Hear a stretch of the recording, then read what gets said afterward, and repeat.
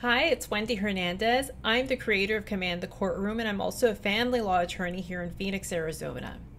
This past week, one of my viewers wrote into me and asked me how she might be able to prove that the other parent in her custody case is an unfit parent. So I thought that would be a good thing to talk about during this week's video. So, if you're going through a custody case and you're seeking sole custody or sole decision making over your children, um, one of the ways that you might go about getting that is proving that the other parent is unfit. And it's not that it's not always that easy to prove the other parent is unfit, but there are a few different angles that you can take in trying to convince the judge that the other parent is, is unfit and not in a position to have custody of the children. So I've been successful in my own law practice in proving unfitness when a parent has a significant substance abuse issue. So, a substance abuse issue can be significant if it's an issue that's been continuing for a good number of years and it, it goes away and then it comes back and then it goes away and it comes back. And you're able to show that the parent with the issue just continues to relapse and they're not able to be stable or solid for any length, a significant length of time. But another way, even if there isn't a long standing drug abuse history, that you can show that a parent is unfit is if they have a current substance abuse issue, whether it's an addiction to alcohol or drugs, and they could be illegal drugs or they could be legal prescription drugs if those drugs are being um, abused um, in other words, if the parent's not or the, the parent's not following the doctor's orders, or if the parent's taking prescription drugs without a prescription, which does happen a lot. So, in these cases where the parent is struggling with the current issue, even if it hasn't been a lengthy historical issue, I would ask that that parent be subjected or be required to take ongoing drug tests. And if the parent refuses to take the drug test, or they keep coming back positive, or they're missing tests, or they have dil- diluted samples, they, that may be an indication that there is a problem that needs to be fixed before they can be trusted to have the children and make decisions regarding the children. Another thing that I might ask for when a parent has a substance abuse issue is that that parent be required to go through some sort of substance abuse screening and treatment program.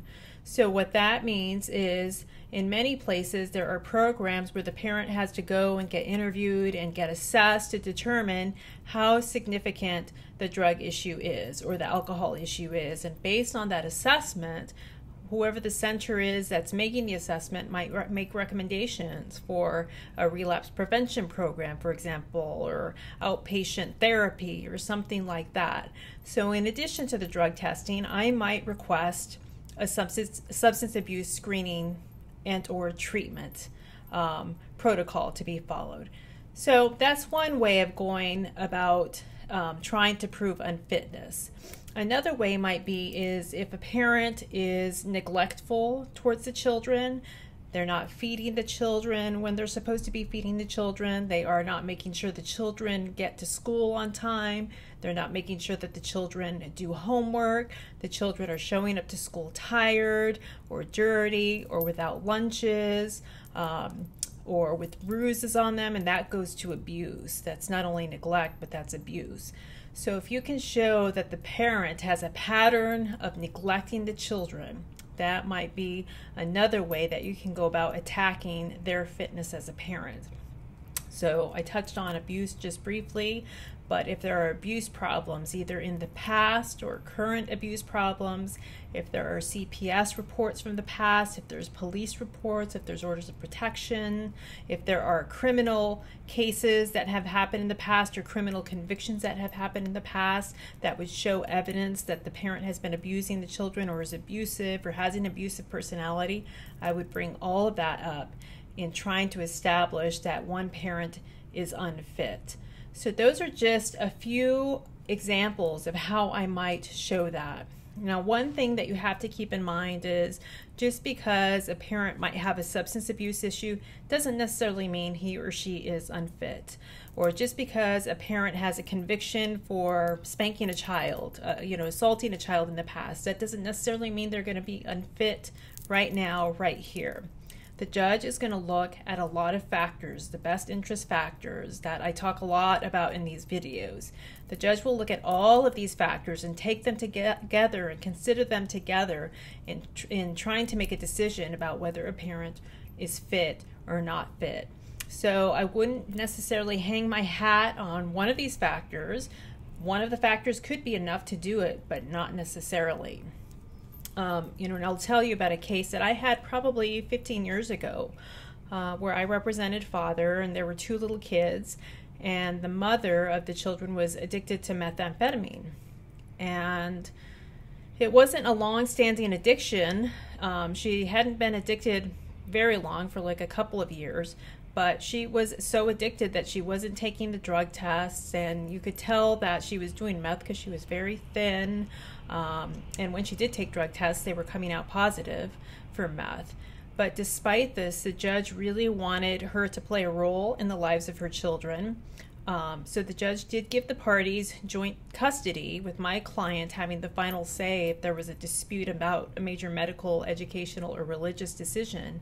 But what the judge did do was limited that parent's access to the children. He only gave her supervised visits. That way he could make sure that the children were safe and that they were not at risk when they were in mother's care. The only way that she could see them was when my client was around or when some other supervisor was around. So, um, when you're seeking sole decision making, keep in mind even if the other parent is unfit, a judge is may not a judge may not choose to limit that person's custody, but instead may choose to make sure that the children are safe by limiting that parent's parenting time. So, I hope this information helped you as far as proving unfitness in another parent. Um, there are probably more than just the ways that I mentioned in this short video to prove unfitness, but those are a few of the most common examples that I have used in my own practice and that I see coming up in the courtroom on a regular basis. If you like this video, give me a thumbs up, give me a comment, keep your questions coming. Remember, um, I'm on Facebook. Command the Courtroom's on Facebook, so be sure and like us there. Subscribe to the Command the Courtroom YouTube channel so you can get notified when new videos are released each week, and also when so you can get notified when special offers and training programs come out. But until next week, remember to keep on trucking and command the courtroom, and I'll see you then.